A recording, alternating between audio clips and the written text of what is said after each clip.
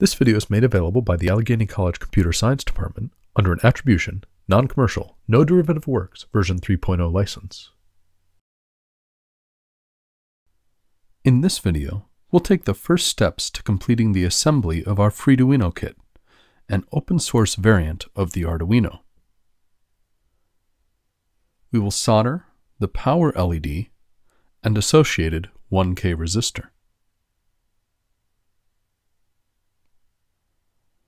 Then, two 100 nanofarad capacitors on either side of the FTDI chip.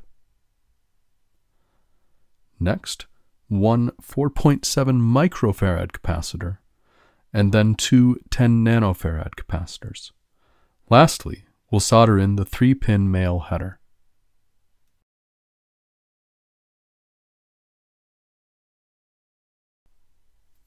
Our first step will be to attach the power LED and associated resistor. Note how the artwork on the PCB shows the correct orientation of the LED.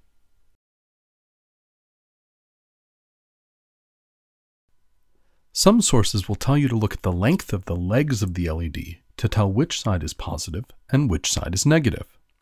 Instead, look at the anvil and the post. The anvil is the larger of the two and is the negative side of the LED. If you look carefully at your LED, you can see the anvil and the post inside, and this will never lead you astray, regardless of the length of the legs of the LED. Now insert the LED into the PCB, flip it over, and bend the legs back. This will hold the LED against the surface of the PCB. Then bring in your soldering iron.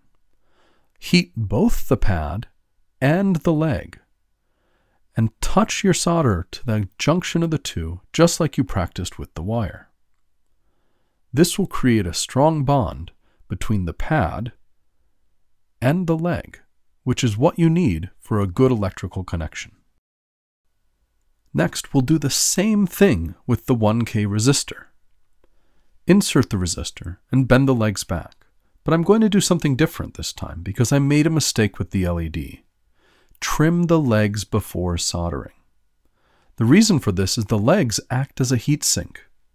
As you touch the soldering iron to the long leg, there's more metal to sink the heat by trimming the leg, we are heating less metal and helping guarantee a better connection.